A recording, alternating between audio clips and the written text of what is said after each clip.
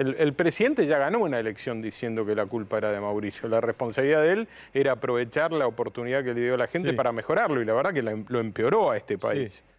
¿Es decadente el país? Sí, Es decadente. sí, claro. ¿Sí? ¿Por qué? Primero por la dirigencia en general, Ajá. eh, que no hemos, me meto adentro si querés, sabido en general dar las respuestas que la gente merecía. Yo, yo no creo que la gente vote mal. La gente elige en cada momento dentro de lo que cree que es mejor. Y los que asumimos responsabilidades tenemos la, la obligación de dar respuesta. A mí me tocó ser intendente varios años, creo que lo hice bien, por eso la gente me, me religió Mm. pero, pero no alcanza, no hay salvación individual, no hay una isla que vos puedas construir donde todo esté bien cuando el país está mal. Y cuando hablo de dirigencia no hablo solo de la dirigencia política, hablo de la dirigencia empresaria, de la sindical, de la universitaria, de los ámbitos de conocimiento. Sí. Todos los que tenemos alguna responsabilidad, hasta desde la comunicación, todos los que tenemos alguna responsabilidad y esta oportunidad de hablarle a muchos, como Sí. nosotros ahora acá, y tenemos que hacer una revisión de qué hicimos mal. Hoy eh, el presidente de la Nación volvió a echarle la culpa de, de todos los males a Mauricio Macri. Bueno, primo. Sí. Eh, ¿Qué responsabilidad tiene el macrismo junto por el cambio de MAN en este país decadente que vos estás describiendo? Yo creo que el 15 al 19 dejan algunas semillas que hoy eh, nos permiten imaginar que va a haber un, un mejor país. Eh, el, el presidente ya ganó una elección diciendo que la culpa era de Mauricio. La responsabilidad de él era aprovechar la oportunidad que le dio la gente Sí. para mejorarlo y la verdad que la- lo empeoró a este país. En el último año Es un dato. Eh, lo empeoró, es un dato. Lo empeoró, eh, sí, objetivamente, digo, inflación, pobreza, indigencia. En Sí. un año duplicó la indigencia, 104% de crecimiento.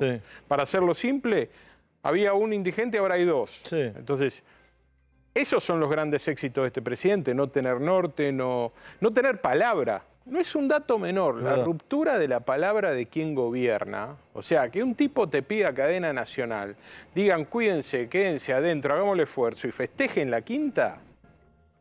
Eso es grave. Mm, Habla de la fiesta de Olivo. Sí, y puedo hacer una lista inmensa, quiero decir, o sea, romper el valor de la palabra del presidente de casi de manera cotidiana es grave. Eh, corregime esa información que tengo, pero corregime, Jorge. A vos te engañó también, porque tengo entendido Sí. que a vos te invitó para un plan de seguridad, fondo que le iban a dar, y vos estabas atrás del presidente Fue, fue antes de eso. ¿te y le sacaron la coparticipación. Claro, ¿te acordás cuando hubo una revuelta ¿Te de la engañó entonces, policía? Alberto? Sí, claro. Ah, claro, sí, sí, claro. La revuelta de la policía claro. en mi en mi municipio, digamos, donde yo gobernaba en ese López, momento, claro, claro. en Vicente López Olivos, la policía en la puerta. Sí.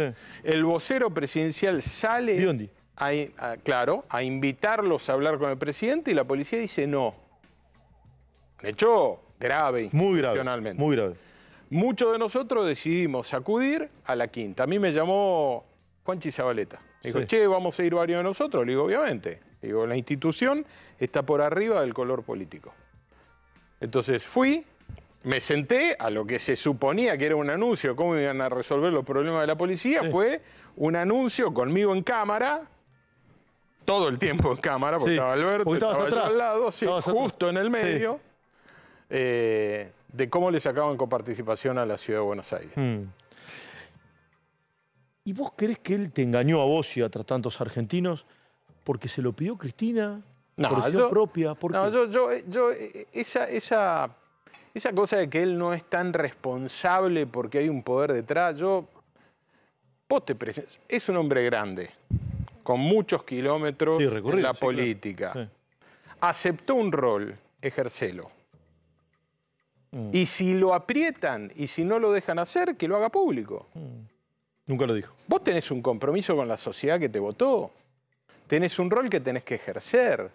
No podés andar llorando por los rincones diciendo, ay, yo soy bueno, pero no me dejan. Y- y- esto es la presidencia.